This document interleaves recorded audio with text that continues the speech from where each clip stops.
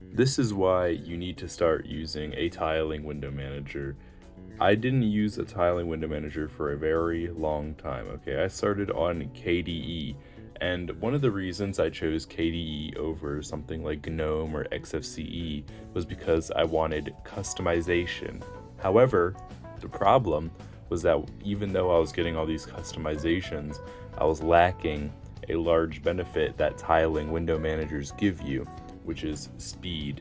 So we're going to be talking about tiling window managers and why I use them and why you should probably use them. And I guess let's just get straight into the video. So the first reason that I like tiling window managers, this is the reason why pretty much everybody likes tiling window managers, is because it is a keyboard centric workflow. So most of the time, you are not removing your hands from the keyboard. And a lot of the time, I try and keep most of my fingers on home row uh, so I can change my keybinds to be the most fitting and I don't really have to think about them a lot.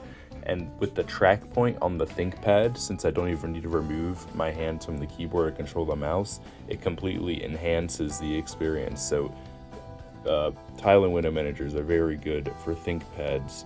The second thing is that because you're not really moving your hands from the computer or for the keyboard to the mouse and back and forth, it's a lot faster. So you're getting what you need to do done a lot faster which I like to say about layouts, they're also much faster.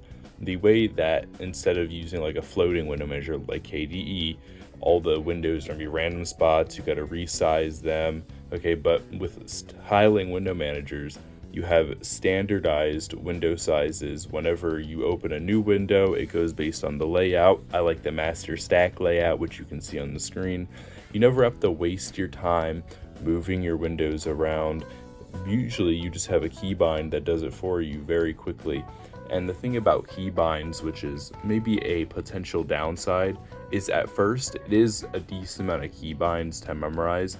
This is why I say that instead of using somebody else's build of the window manager or someone else's configuration, you should definitely configure it yourself or at least look at somebody else's configuration and then base your build or config off of what they've done this way, it'll make it more natural whenever you want to use your window manager. It's all about being natural. You don't want to have to think about how to use your window manager the same way if you drag a window on a floating window manager, you don't want to think about doing that. You kind of just do it. It's a, it's the exact same thing. It's pretty much the same philosophy. It's about not thinking about it. It's just this is a little bit more advanced, a little bit more complex. You got to learn a little bit, but it is very worth it in the end because you're saving a lot of time. Now, with some window managers, they ship as just a regular configuration and they don't really let you do a lot with it besides maybe how the windows look and whatnot.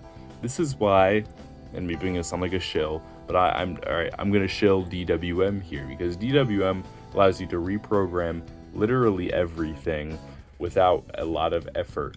And a lot of people think that the patching process is very daunting. Well, there's a very easy way to patch DWM. In fact, I made a video about it, which you can see at the top right hand corner. And that allows you to configure it in a lot of ways that normally wouldn't be possible with the base code.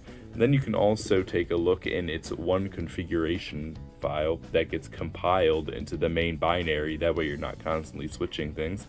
You take a look at that and it's very easy if you know even just a little bit about C. If you don't know about C, you can still mostly figure it out, look at other people's builds, get a feel for it, ask people within the Linux or OpenBSD or any community that has to do with computers. You'll probably find somebody that's willing to help you configure. You can find a lot of resources on the Suckless website. You can find resources, unfortunately, on Reddit. I hate Reddit, but you know, there's sometimes good information on there a lot of the time it's bad. So it's really hit or miss. You just have to see what works for you. Anyways, I know this was a little bit of a short video. Um, I just wanted to talk about why I use a window manager. Um, but yeah, thanks for watching.